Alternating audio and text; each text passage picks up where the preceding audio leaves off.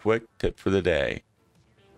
Consider registering as a member so you'll know when other videos are posted and when I'm gaming live. Okay, here we go. The tip for the day is on your controller, if you press X, you get this menu.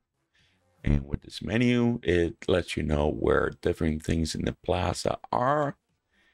If you see, if you close, it points on the right, it points to the shop, the shoes, Deep Sea Metro, Gris- Mr. Grizzco, and other things. Now you can walk to them. It's just a simple way of doing it.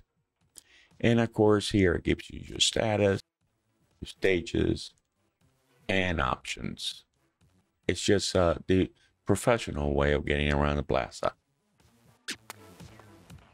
And that was the tip of the day.